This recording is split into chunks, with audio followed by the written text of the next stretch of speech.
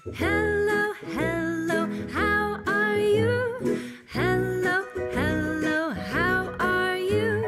Hello, hello, how are you? How are you today? Hi, let us start with our new lesson in Social Studies. Meeting New People, Unit 5, Lesson 4. On your textbook, page 148 to 151. Our keywords are ignored, upset, visitors, excuse me. The objectives are the following. Identify polite behaviors administered when meeting new people. List inappropriate behaviors which should not be administered in the presence of strangers.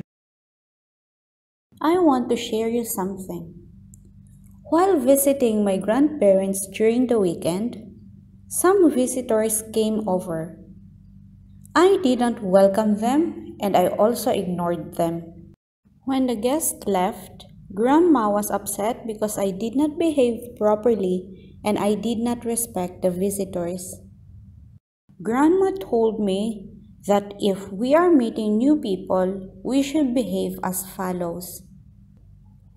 You always have to stand straight and have a smile on your face. You say hello to strangers and look them directly in the eye. Chewing a gum while speaking is a very rude behavior.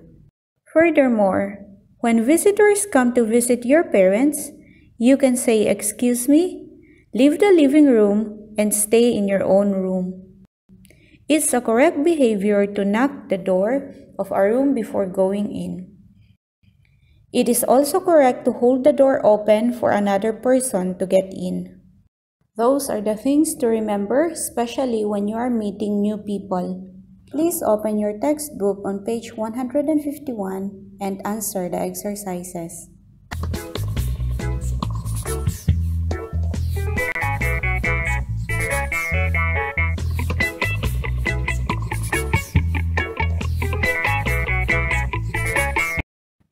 Check your answers with this answer key.